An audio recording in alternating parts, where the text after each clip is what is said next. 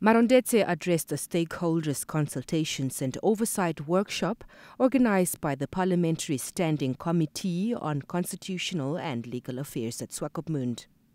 Marondedze also told the workshop that the PG's office has no website, no personal assistants, public relations officer, or research assistants. Advocates were sent out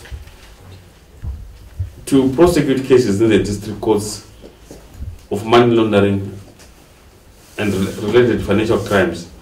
But when this is done, it means the gap, there will be a gap in the High Court. We all know that uh, the judges have research assistants. We handle serious cases. We go to the Supreme Court. We have to do the research ourselves. And we have to go and pre- uh, present our cases ourselves. Prosecutors are uh, even cleaning their own offices. They are cleaners. Everything you do is done. They mm. are cleaning their offices. They are typing their way. Therefore, the situation is it's, it's very really tense. That's why I gave it to my colleague to present because I just feel like crying mm-hmm. because I said why the system hates the PG's office.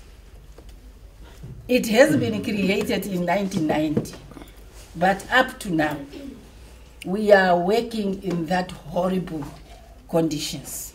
The Ombudsman, Basilius Dyakugha, suggested for the appointment of retired prosecutors to fill the shortage. Probably just use your powers to look into the retired prosecutors so that you can actually use them in, um, in certain situations that can also uh, assist you because they are just retired in terms of age numbers, but not in terms of their knowledge of doing the, the work.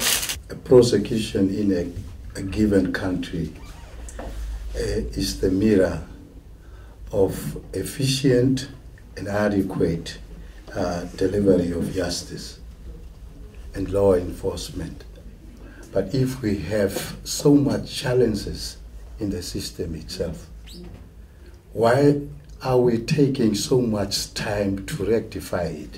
In terms of access to information, especially using in this age um, the internet, having a well functioning website, because uh, regardless of, of, of whether the resources are there, I do believe um, generally we must take a stance to, to have online platforms where people can access information. Let's see what we can do to these officers who are crying out to us. And if we want access to justice in this country, it's part of the access to justice institutions.